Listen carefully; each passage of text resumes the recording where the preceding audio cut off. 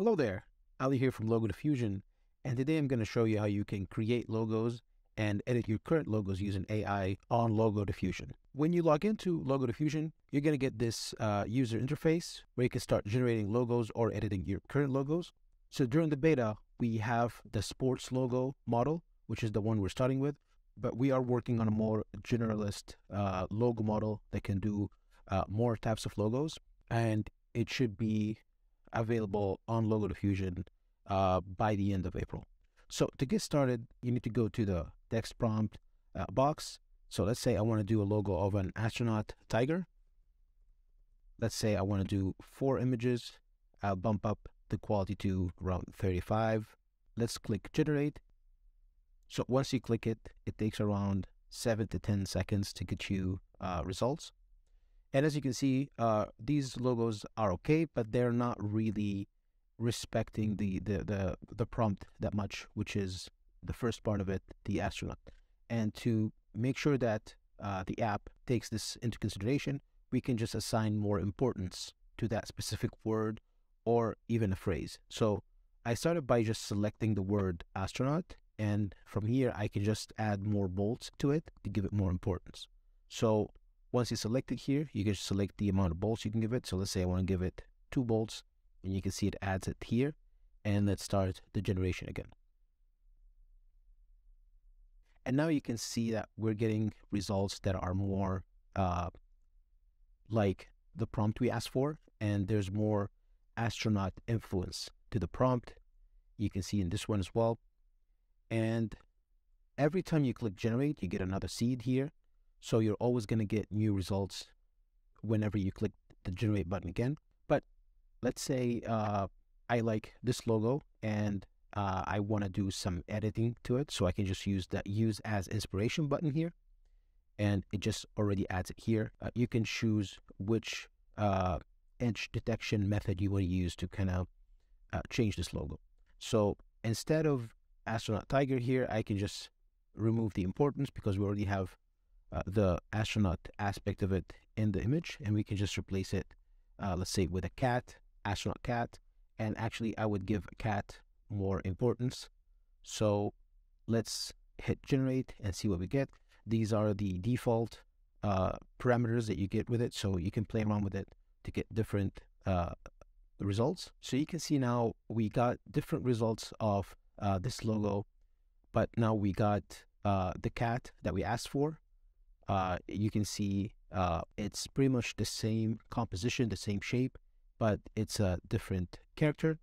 Uh, we can control how similar or different this result is from the base image by moving the denoising strength uh, slider.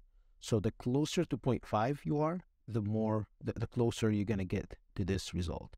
And the further away from it, the more creative freedom you give the AI. So let's say I want something a little bit more closer. I can go to 0.6 and hit generate again. And you can see here, it shows you what kind of edges are detected. And these are like really rough edges. But if you need uh, more details, you can pick, for example, thin outline. Uh, and you can see in this result, because we clicked, uh, because we chose uh, 0.6, you can see the results are even closer to the input image, the image we used as inspiration. And now we can, if we do the thin outline and 0.6, uh, this is going to be even closer to the input image. And you can see here, uh, we did get a different result. Uh, it still kind of looks like a tiger, but you can see that it started to look more like a cat as well. The more you play around with these uh, settings, uh, the more you realize how you can you can use Logo Diffusion to change uh, your logos and edit them to get the results you want. Now, the redesign method can also be used with any logo you have. It doesn't have to be a generated uh, logo. So you can just go to redesign method, upload, and choose a logo here. For now, I have the Minnesota Vikings logo that I want to change a little bit, and I'll tell the AI what I want to change this logo into.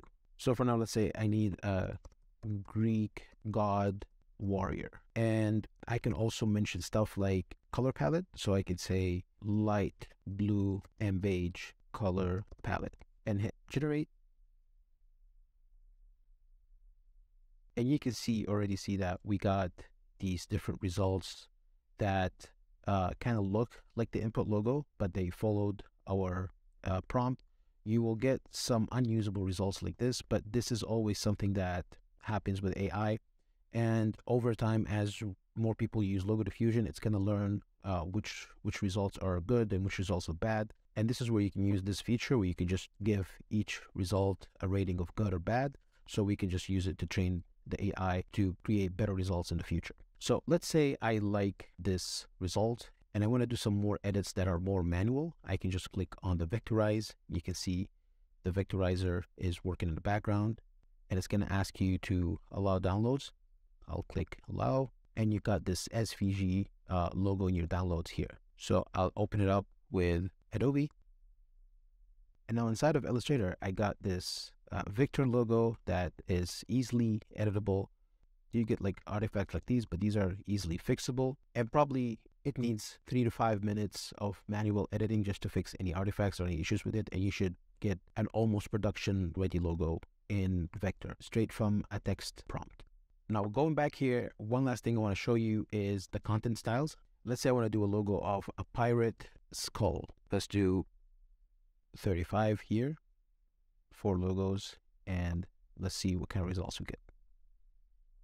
Using the content styles, you can decide how you want the results to be. So if I want something more minimalist, instead of writing a bunch of stuff here to kind of complement my uh, prompt, I can just add the minimalist and it's going to do that in the background for you. So let's do another generation and see what that does. And you can see the results are more uh, black and white, minimalist, simple lines, and it doesn't have a lot of the details we got in the first generation where no content style was applied. And now to do something different, let's do detailed and emblem. You can also combine these uh, content styles to get different results. And you can see now we got something totally different. We got all these intricate details and we got this emblem shape along with the skull and the pirate uh, feel and look. And now one last thing I wanted to show you is the ability to convert a regular image into uh, illustration or a logo. So what you need to do is go to redesign method, click on upload here, and you can upload any uh, image you have.